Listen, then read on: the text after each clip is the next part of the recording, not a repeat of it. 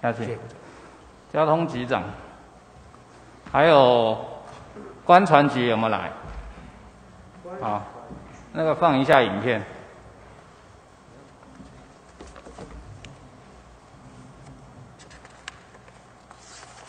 观船有到吗？好。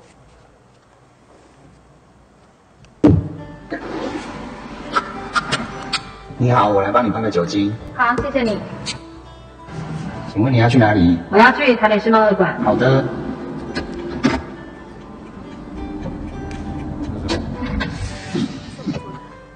小姐，不好意思，啊，因为现在是防疫期间，那我看今天外面的空气品质也还不错，那我稍微把窗户降下来一点点，让室内外的空气可以稍微流通，这样可以吗？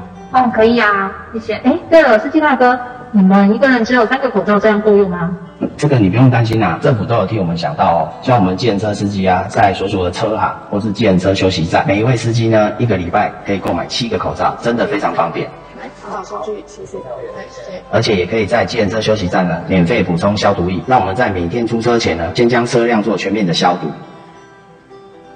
这样乘客呢就能更安心的搭乘。出车前要全车消毒一次，之后每四个小时要再消毒一次哦。嗯，台北市政府真的好用心哦，未来我们可以更放心的搭乘计程车了。对啊。好，这个影片，因为我是台湾大车队的爱用者，所以我前两个礼拜，几乎大概播了半个月吧，坐在台湾大车队的那个后座的荧幕，在播这个。我本来看一下，我还以为是台北市政府拍的防疫广告，结果也没有打台北市政府的抬头，然后上面就有有一个女的说台北市政府做的很好，然后发发口罩出来讲话的是蔡壁如，这个是什么？啊，台湾大车队其实是你们公运处交通局公运处管的。台湾大车队跟我说，是你们交通局公运处说这是公益广告，叫他们播，所以也没收钱。所以啊，这是什么？请说明一下嘛？呃，跟一做报告，因为这个影片是媒体公司制作，那请车队去拖播的。那公运处这边是有接过媒体公司有来函说申请我们的服务站要拍摄，那这一块我们有同意场地借用。目前我们的的处理大概就是这个部分。所以你们没有去跟台湾大车队说叫他们播？呃，这应该是他们自己接下，因为媒体本来就可以请大车队去拖播，这拖播不需要经过公运处的同意的。但是大车队的给我的回复是公运处叫他们播，这个是公益广告，所以不用钱。大车队的广告都是要钱的哦。我我觉得这个是他们双方要去谈的，因为我们不会所以你们没有管这个事情。对我这个不在托播不在公益处管的范围。好，那关传吉科长，我问一下，我们所有的公益公益广告片，大概各局处的公益广告片，最后都会通过你们那边，对不对？然后你们再去下给，比如说捷运公司或者是其他单位，可以托拨，是不是这样？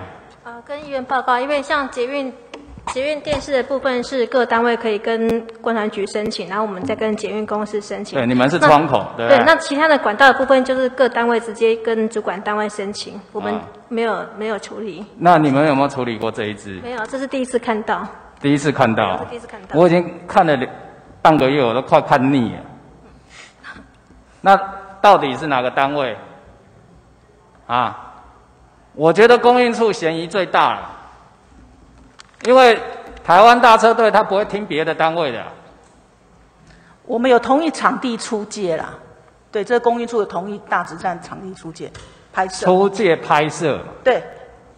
但是人家的白花花的这个这个需要白花花银子的时段拿出来做公益托播，总不可能没有一个政府单位的人打电话给他们，他们就做公益托播吧。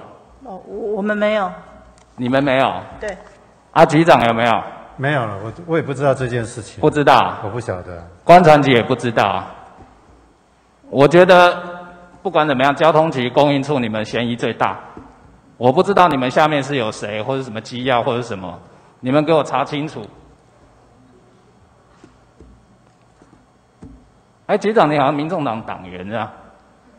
对，啊，这是不是你们民众党去弄哪一个？这个广告啊？我我我没有管到那边去，没有啊？我我有那给我查清楚，好吧？啊？查清楚，因为老实讲，这中间如果说有人用市政府的名义去跟台湾大车队说叫他播公益广告，这是什么罪啊？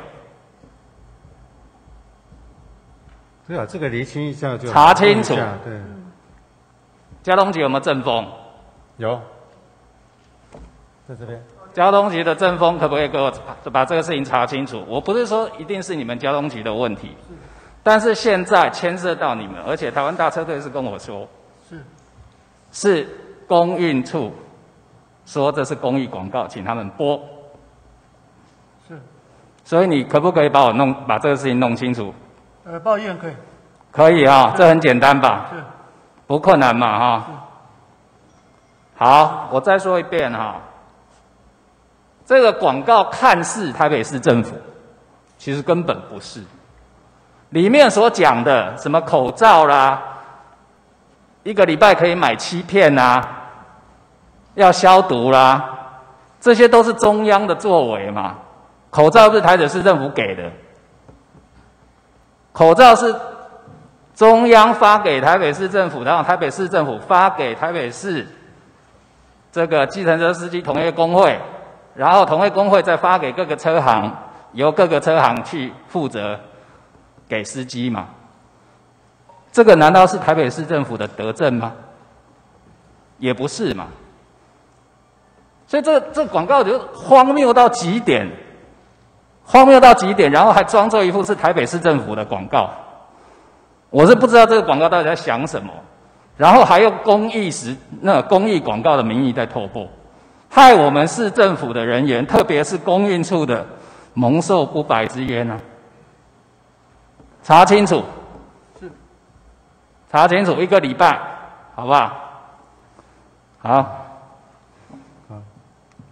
啊，局长留下来多久时报间？报议员，那时间可不可以再多给我们一个礼拜？